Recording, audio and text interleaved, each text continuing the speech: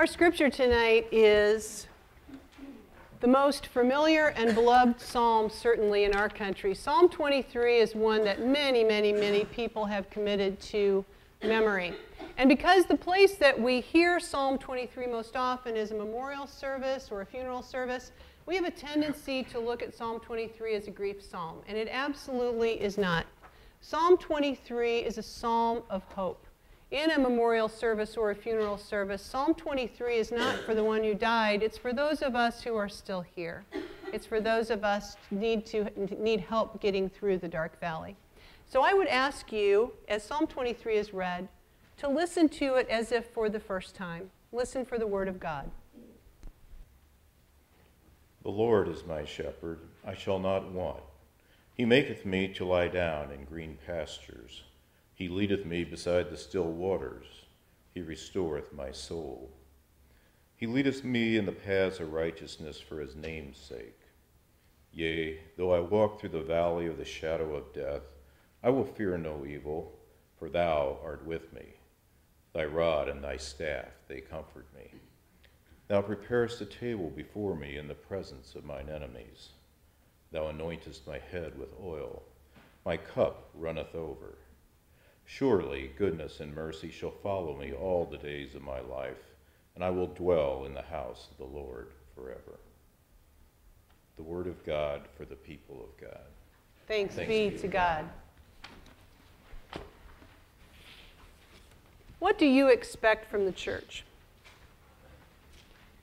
The church is called to comfort us in times of need. And the church is called to challenge us the rest of the time. So, what is comforting and what is challenging? It really depends on your perspective and your expectations. Last Saturday, we had a memorial service in this chapel. A couple of months before that, a woman had called me to tell me that her husband was in hospice, and she wondered if it would be possible to have a memorial service for him in this chapel upon his death. She explained to me that she's actually a member of the church but hasn't attended for a long, long time, and her husband has never been a member. Well, I assured her that that didn't matter. The membership didn't matter at all.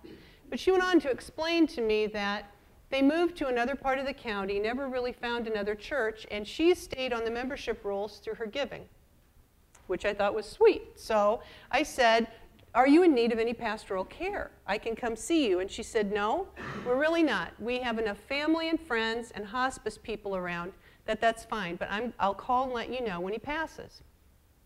So a couple weeks ago, she called me and let me know what had happened. He had died, and she set up an appointment with me to come in and talk about his service. So she came in, and we sat down in my office, and it's the first time I'd met her face to face. She started telling me a little bit about herself and her husband. And she told me that she was delighted that they could have the service in this chapel because about 28 years ago, they'd been married here. So I was thinking, I said, How long has it been since you've been in the chapel? And she said, Oh, it's been a while. And I said, Well, how about if we gather up the stuff we need to plan his service and go up to the chapel and do it up there? Oh, yeah, she liked that idea. So we gathered up our stuff and we came up here. The lights were out, the, the blinds were drawn. So as we walked in, I went back and I turned on the lights and I opened the blinds to where they are now. It was a beautiful sunny day.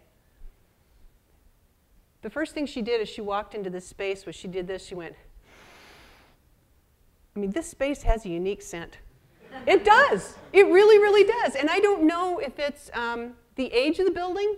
I don't know if it's all the wood. I don't know if it's the cleaning supplies, but I mean, I was a member here since 1996. This space has a unique odor. It does. It's not bad at all. It's just, I've had people walk through this space with me and sit for the first time and say, oh, this smells just like the little country church I grew up in.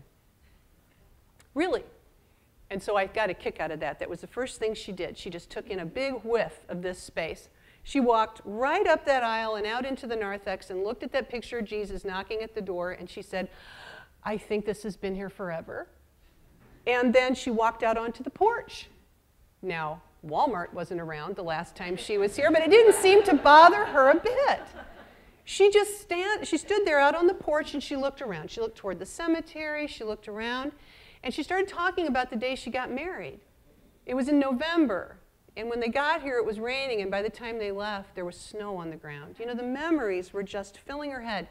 And what was familiar about this space was comforting to her. So we came back into the space and we sat down in this front pew. And when I plan a memorial or funeral service with anyone, I have an outline that we follow. It's a Methodist service, and we can add things or take them away. But there's places to plug in Old Testament, New Testament lessons, there's places to plug in hymns. Some people come in and they know exactly what they want. Not very many, but some do. Some people come in and they have an idea of what they want, and so we look for that together. Some people come in and they have no idea what they want. They say, You do it. And, and still, I have them sit here while we figure it out. But no matter how familiar or not they are with the church, how familiar or they are or not with, with hymns or with scripture, what I find is in general what people are looking for is something familiar because what is familiar comforts us. So in this outline we use, we get to a place where you can choose to have Psalm 23 or not. Most people choose to have Psalm 23. In the outline, I have two versions. There's the King James Version that we heard, that is the one we're all familiar with. And then there, I have the New Revised Standard Version. That's the Bible we use in this church mostly. That's the one in the pew back. As a rule, if people want Psalm 23, they want the King James Version, even though we don't use King James for anything else. And the reason is it's familiar. It's familiar, and because it's familiar, it's comforting. Funeral and memorial services in the church are meant to be a time of comfort. I am absolutely convinced of that. Not only for those who have been in the church, but for someone who comes for one of those services and this is the first time they set foot in a church. When they leave, I want them to know, I want them to feel grace, and I want them to feel love, whether they realize that's God or not. The church is absolutely called to comfort when we are in need when we are in the midst of loss or grief. Comfort leads to healing, and healing leads to wholeness, and that's one of the things we're here for as the church. So, if the familiar can lead to comfort, when would something like Psalm 23 not be comforting? When would something like Psalm 23 feel like a challenge and not be a comfort at all? Well, during the season of Lent, I had the opportunity to preach one weekend all four services, Saturday and the three on Sunday morning. I used the same sermon and the same scripture for all four services, but on Sunday morning, my scripture and my sermon had to fit within Pastor Greg's uh, sermon series that he was using, I believe even when. So it was the same scripture and the same sermon, but what was around it was different than Saturday night. And one of the things that was used during that series was in, in every one of those services, there was a responsive psalm. Responsive psalm would be the leader reads a, line, a verse, you read a verse, back and forth.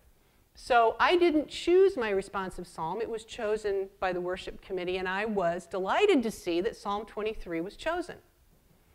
It worked, it worked beautifully with my sermon. So Sunday came and went, Monday came and went, Tuesday I received an email. I received an email from a gentleman that I have met and I don't know very well. He told me in this email that he was so troubled Sunday by the use of Psalm 23 that he hardly heard the rest of the service. And on Tuesday, it was still agitating him, so he had to let me know how he felt. And I'm telling you, he was annoyed. Really, really annoyed. And that's putting it mildly. This is Psalm 23 from that, from that Sunday morning. The Lord is my shepherd, I lack nothing. He lets me rest in grassy meadows. He leads me to restful waters. He keeps me alive. He guides me in proper paths for the sake of his good name. Even when I walk through the darkest valley, I fear no danger because you are with me. Your rod and your staff, they protect me. You set a table for me in front of my enemies. You bathe my head in oil, my cup is so full it spills over. Yes, goodness and faithful love will pursue me all the days of my life, and I will live in the Lord's house as long as I live. Psalm 23 was not the problem, it was the translation that was the problem. This gentleman was absolutely convinced that Psalm 23, King James Version, is the right version, and any other translation was just simply wrong. We went back and forth with emails a couple times. I tried to explain to him that I understood, but in worship, there needs to be some challenge. And when we are as familiar as we are with something like the King James Version of Psalm 23, it can start to come off like sing song.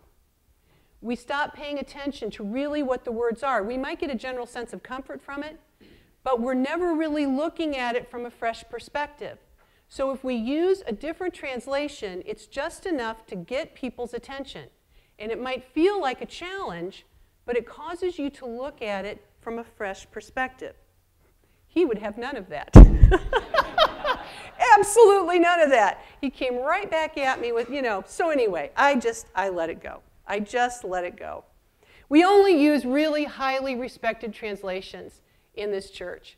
You know, the New Revised Standard Version, uh, the NIV, the, National, the, the New International Version, and the Common English Bible are all translations by groups of scholars that have to come to consensus on what everything means.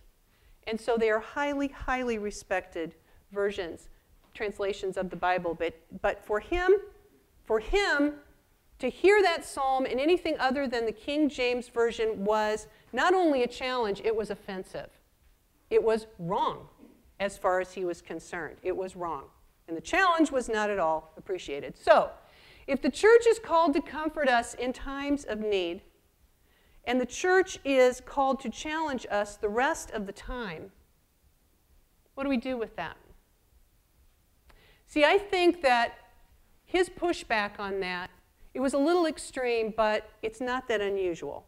Um, it is with Scripture within a worship service, but not in other areas.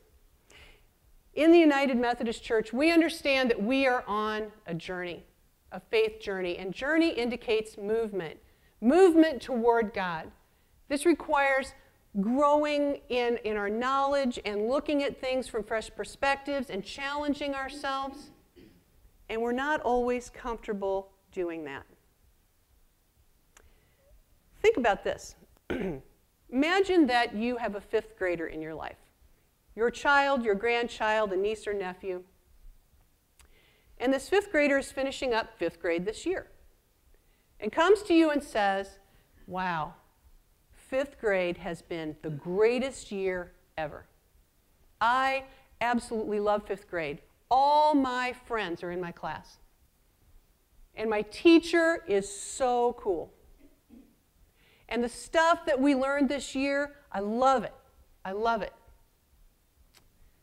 And you know, sixth grade means changing to a middle school, and so my friends and I, we all decided we're going to stay in fifth grade. we like each other, we like the teacher, we like our room. Hey, we know how lunch works and where the restrooms are. Why mess with a good thing? Can you imagine? This kid said, We're just going to keep learning pretty much the same thing over and over and over again until we are experts. Can you imagine? Well, first of all, it'd be illegal for them to do that. But, but we truly expect our kids to take on the challenge of learning something new every single year. We expect them to step up and be in that next grade. And when they move from elementary school to middle school, that is a huge jump. When they move from middle school to high school, we're asking them to move out of a familiar space and into one that isn't with a lot of new people. And we fully expect them to be able to do this and do it well. But as adults, we get to a place where we don't always expect that of ourselves. We can sometimes, within the church, when the church is challenging us to learn and to grow and to move forward, we can, like that gentleman with his email actually become offended by the idea of that. Because frankly, we've always done it this way. See, as a pastor, on Saturday nights, if you aren't at least occasionally challenged, I'm not doing my job. One of our senior pastors said As a preacher, it's your job to step on toes, but don't make them bleed.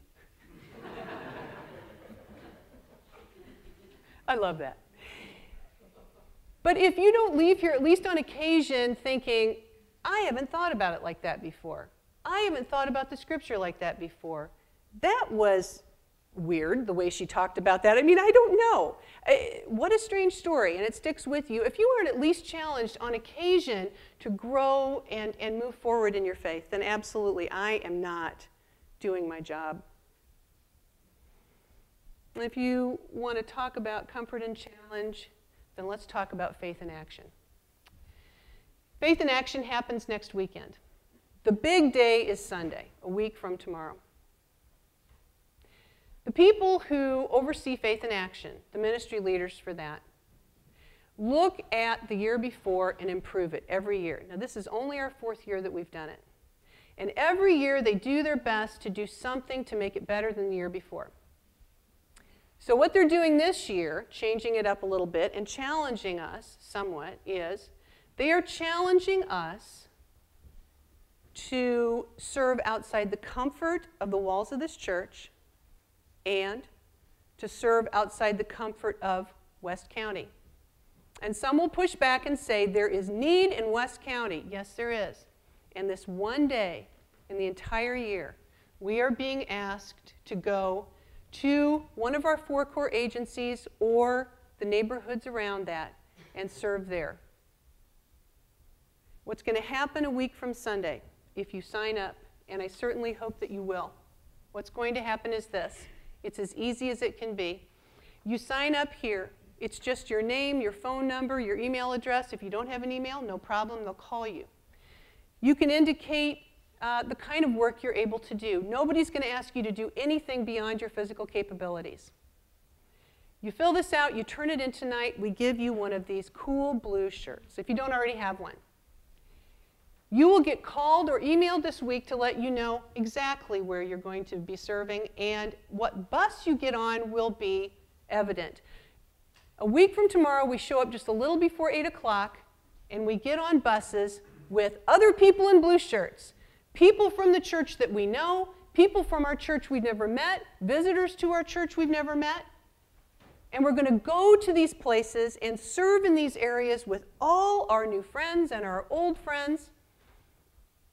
And then at noon, the time's going to go by like that. At noon, we get back on the bus.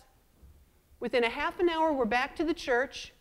And the United Methodist men know we're going to be hungry for lunch. So they are going to have lunch ready for us hot dogs and brats and hamburgers and sides. And we are going to, it's going to be come as you are. We're going to paint and sweat all over us, and it's okay. We're going to grab a plate, we're going to fill it up, we're going to sit down and just share with one another what we did. And if when you get back at 12:30 you need to get going, you can do that too. And you got the whole day ahead of you. It could not be simpler. The church is called to comfort us in times of need. The church is called to challenge us the rest of the time. The church is challenging us to go out and be the church to comfort those in need. And it's being made so simple for us. I promise you, you sign up for this and you do this, you're going to be taking a little quantum leap on that faith journey. And I heartily encourage you, I challenge you to be here a week from Sunday in the parking lot, get on a bus with me, and let's go make a difference for Christ in the world. Thanks be to God. Amen.